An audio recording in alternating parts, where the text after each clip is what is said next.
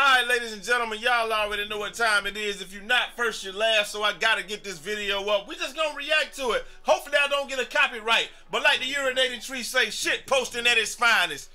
I just want to get out there and play ball with my teammates. We'll see if I'll prove them right. Hey, you got to do your thing, young man. Do your thing. Woo, get up! My game was inspired by uh, Michael Jordan because I just love the way he played on offense and defense and All right. assassin mentality. Okay. Lot of LeBron growing up, Kobe, T Mac. Those are like the best players, and I feel like I would try to like take small parts of their game and somehow try to put it in mine. You gotta emulate. Emulation is the flat is the purest form of flattery, man. Uh, Crazy man, like imitation. nothing really can beat that. I'm in the game, like I don't have to create my player.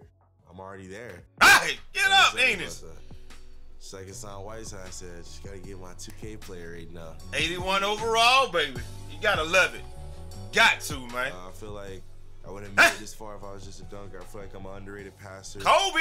I'm underrated shooter. All right. I right. think I can still work on both, but I feel like I just don't get enough credit for my overall game. Hey, that joker look like he in shape too, boy. He ain't no. year, and just the me not happen, but that's what the mindset is. I feel like if you're not even thinking you can win it, and you're already starting off wrong. Hey, that's the first thing you gotta think. You try to be the best. Try to be the Everyone's best. saying I'm the next LeBron or whoever, but I'm just Zion, and I'm Hey. just trying to be the next version of me. Hey, man. I can't hate on my boy for that, man. I cannot help. I can't hate on my boy for that, man. Look, man, the, the kid looks ready to go right now. Now, like I said, I watched Brutal Sim video, and you know, a lot of people were talking about the little steals or whatever like that. Bro, I don't think the steal is that big of a deal. When he stole the ball, he was in perfect position, and he uh and he got the steal. So you know, it is what it is. Look, I gotta post this stuff to keep up with the rest of it, keep up with the Joneses, but really, I'm ready for gameplay. Like, if you're ready for gameplay, leave in the comments. I'm ready for gameplay. The trailers are nice. Zion is nice. We already know what that's gonna amount to, bro. But we are ready for gameplay.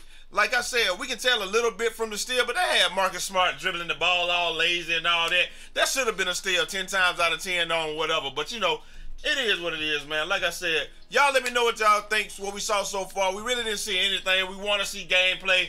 We know 2K is not going to come with the gameplay until they come with the gameplay, so you know it is what it is. But if you enjoyed the trailer, let me know what you think, and I'm going to holler at y'all next time. Till next time, it's your boy Jai Eazy, a.k.a. Fresh from the Barbershop, BK the People's Champ.